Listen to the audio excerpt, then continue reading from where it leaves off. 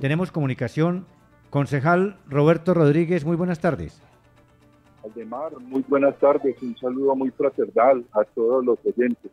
Brinque tanto que de pronto se cae la tarima donde está, ya tenemos la foto donde está con Susana Correa, la senadora, con Juanita Cataño, la diputada, con el exalcalde Ricardo Cobo, que también están ahí celebrando.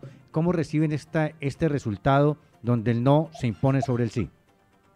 Eh, Aldemar, con mucha humildad.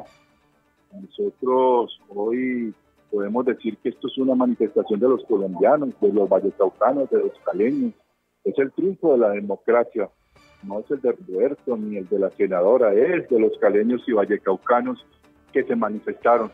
Hicimos nuestro esfuerzo tal como se nos encomendó, tal como lo consideramos de corazón, pero es el triunfo de la democracia.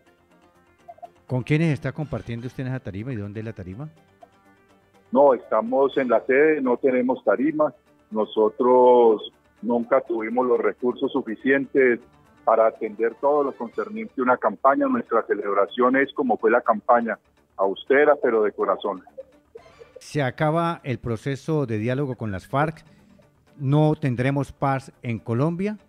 ¿Qué piensa usted? Por el contrario, Aldemar, por el contrario. Hay que invitar al gobierno, hay que invitar al grupo armado de las FARC, hay que invitar a todos los sectores políticos, a todos los sectores sociales y dirigentes del país a que entre todos construyamos un gran acuerdo, pero no un acuerdo entre el gobierno y un acuerdo con el grupo de la guerrilla, un acuerdo de ciudadanos, un acuerdo de Colombia. Es un acuerdo donde todos se vean reflejados y tenga la participación abierta y de frente de los colombianos. Concejal, muchas gracias. Feliz noche.